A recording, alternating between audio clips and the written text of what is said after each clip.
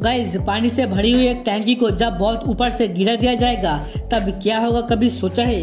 तो गाइज़ इसी एक्सपेरिमेंट को किया था मशहूर यूट्यूबर मिस्टर इंडियन हैकर ने।